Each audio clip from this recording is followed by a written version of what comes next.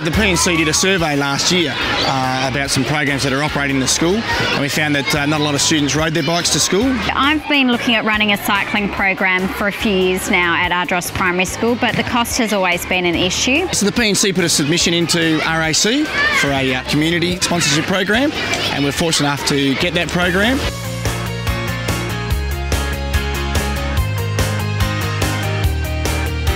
We're including about 120 kids from year five to seven, and we're running four sessions a week on a Wednesday, Friday over six weeks through AustCycles.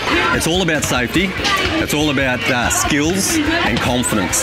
So those three things are very important to uh, riding a bike. Some of them are very young, and um, uh, some of them haven't ridden a bike at all in, in their past, and that uh, confidence is very important. I feel a lot more confident and a lot more safer that, and I can ride my bike a lot better. It's been a lot of fun.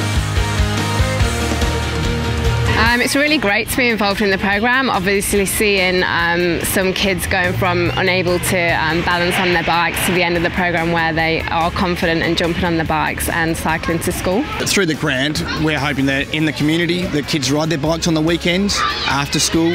They ride down to footy training or netball training. Um, so yeah, look, it's not just school based; it's actually teaching them real life skills that they can use outside of school. All of the kids have progressed from where they started to now. That they've all come a long way. It's made a big difference. I feel a lot more confident and feel I'm confident enough to ride on the roads. To do the right thing on the roads, to be safe is uh, you know a huge effort on our kids' behalf, um, and I think for RAC that's a, a great benefit for them being in the community. And look, what it's allowed us to do is it's, it's reduced our cost. Um, we probably wouldn't have run bike education um, without the grant. Um, to offer it to 120 students, um, it's, it's halved the cost, and we've had 100% take up of, of the program.